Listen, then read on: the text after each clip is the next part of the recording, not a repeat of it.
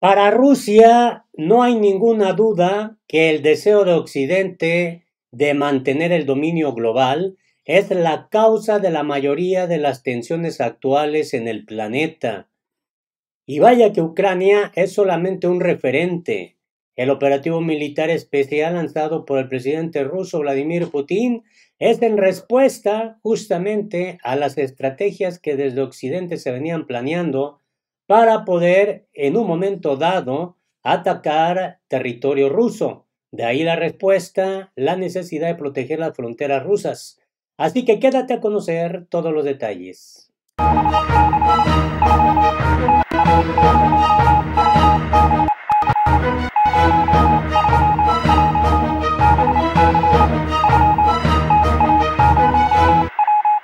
Hola, ¿qué tal? ¿Cómo estás? Me da mucho gusto saludarte este día, jueves, eh, hoy miércoles, miércoles 14 de diciembre del 2022. Información, la verdad, bastante importante. Países de la OTAN se enfrentan a una escasez de armas muy real debido al conflicto ucraniano. Vaya que hay que decirlo con toda claridad, todo lo que está ocurriendo a nivel global ha sido tensado, sí, por el conflicto en Ucrania. Sin embargo, se ha venido eh, realizando toda una estrategia global de control hegemónico por parte de Estados Unidos y sus países aliados, como el Reino Unido y algunos países de la Unión Europea, sobresalen Alemania, eh, Francia, y bueno, en este escenario ya hay repercusiones bastante negativas para el bloque occidental.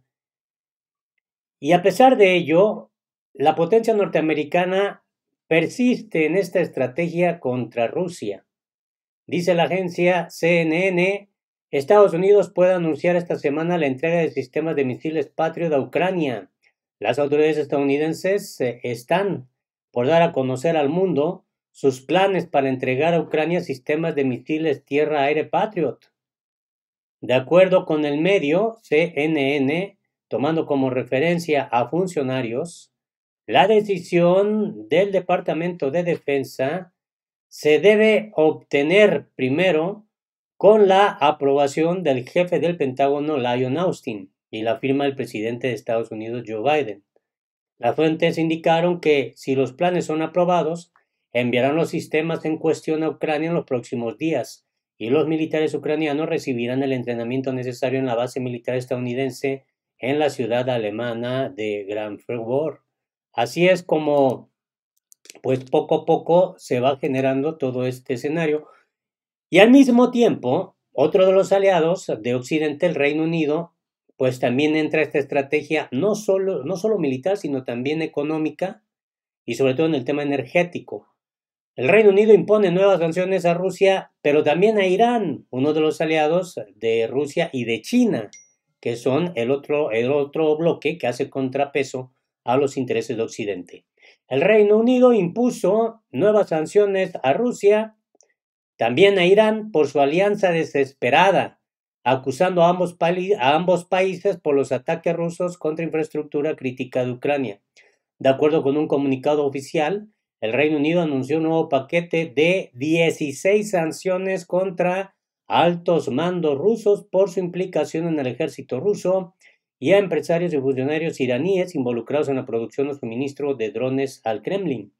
Se informa que entre ellos figuran 12 altos mandos de las Fuerzas Armadas rusas, así como también ciudadanos iraníes que facilitan la producción de aviones no tripulados que, según las acusaciones de Occidente, podrían haber sido utilizados por Moscú en Ucrania. Y bueno, otro dato sobresaliente es este. Infantes de la Marina Británica participaron en operaciones discretas en Ucrania, admite un general. Los militares británicos apoyaron misiones con un alto nivel de riesgo político y militar en un entorno sumamente delicado, declaró el teniente general Robert McGowan.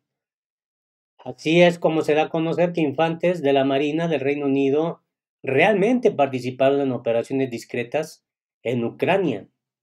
Esto con información que se da a conocer a través eh, de la revista The Times. De acuerdo con sus declaraciones volcadas en un artículo para la revista Globe and Laurel, militares británicos apoyaron misiones de un alto nivel de riesgo político y militar. McGowan, excomandante de infantería de la Marina Británica, declaró que 350 militares desplegados en Noruega fueron enviados en enero de este año a Ucrania para participar en la evaluación de la Embajada Británica Polonia, para participar en la evacuación de la Embajada Británica a Polonia. Luego, en abril, regresaron al país para restablecer la misión diplomática, proporcionando protección al personal esencial.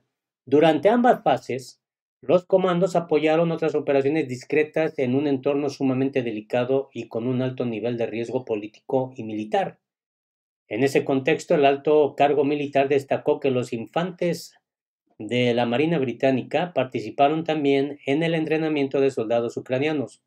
Junto con la defensa más amplia, hemos estado muy involucrados en el entrenamiento de cientos de miembros del personal militar en Ucrania durante todo este verano. También estamos planeando entrenar a infantes de la Marina de Ucrania. Por su parte, un portavoz de la Marina Real Británica declaró que los infantes fueron desplegados en Ucrania para apoyar la presencia diplomática del Reino Unido en el país. Durante su misión no realizaron funciones de combate, al menos eso es lo que destacó. Ahora bien, hay un escenario bastante pues negativo ya para eh, países de la OTAN en medio de todo este escenario. Se enfrentan a una escasez de armas, de armas, se enfrentan a una escasez de armas muy real debido al conflicto ucraniano. Los Estados miembros de la Alianza Atlántica se enfrentan a esta escasez debido a los suministros que han hecho al presidente de Ucrania, Vladimir Zelensky, por lo que intentan enviar una señal a la industria de la defensa para que aumente la producción. Así lo reconoció la representante permanente de Estados Unidos en la OTAN, Julianne Smith. Al ser consultada sobre los planes en el suministro de municiones y en la capacidad industrial de bloque, Smith explicó que se trata de un reto muy serio, por lo que se están llevando a cabo una serie de esfuerzos, incluyendo la convocatoria a los directores de armamento de los 30 países. Según la funcionaria, se reúnen con los representantes de la industria y estudian compras multinacionales para enviar la señal más clara posible con el fin de que los fabricantes confíen en que se mantendrá el interés cuando se enciendan las líneas de producción. Así que estos esfuerzos se centran en la reducción de las reservas en toda la alianza de la OTAN. Países como Estonia, que han proporcionado una enorme asistencia en seguridad a Ucrania, se enfrentan a una escasez muy real y no son los únicos. Lo vemos en toda la alianza en general. Un escenario ya complejo, obviamente, para los países de la OTAN, que también han externado ya su deseo de que termine pronto esta guerra, y es que el saldo es bastante negativo para los países europeos y obviamente para muchos de ellos que forman parte de la OTAN. Esto también resulta muy significativo. El gobierno ruso de Vladimir Putin da a conocer esto el deseo de Occidente de mantener el dominio global es la causa de la mayoría de las tensiones actuales. Durante años, Occidente ha estado invirtiendo a Ucrania en una plataforma antirrusa. Así lo destacó el ministro de Relaciones Exteriores de Rusia, Sergei Lavrov, en la conferencia internacional La elección euroasiática como base para el fortalecimiento de la soberanía. Según el jefe de la diplomacia rusa, la Unión Europea y la OTAN ya no pueden reclamar el liderazgo en Eurasia, a pesar de sus intentos de usurpar el papel de garante, no solo para la seguridad europea, sino también a nivel internacional. Y bueno, claro que ya es un escenario muy pues adverso y hay que reconocer esto para eh, países que han decidido formar parte de la OTAN o bien de este bloque de Occidente. Incluso los mismos países de la Unión Europea eh, pues ya se enfrentan a una situación muy compleja. Sin embargo, hay posturas muy radicales que obviamente todavía insisten, por ejemplo, en esto, En el Parlamento alemán exigen medidas más severas contra los medios rusos. El Parlamento alemán ha propuesto establecer un punto de información central para responder a lo que consideran desinformación de Rusia. En concreto, destacaron que en Alemania todavía hay acceso a medios rusos como RT, que es de donde estoy retomando la información, amigas y amigos. A pesar de la censura impuesta contra estos, la medida ha sido considerada en el gigante euroasiática, en el eh, gigante euroasiático, es decir, en Rusia, como una casa de brujas desatada por Occidente contra Moscú. Bueno, así está este panorama. Esto es lo que se está viviendo en las últimas horas. Ojalá me puedas dar tu punto de vista, tu opinión, desde luego, es importante. Y yo te saludo desde el sur de la República Mexicana. Los errores fueron míos, los aciertos son de Dios. Sonría, sonría y sea feliz.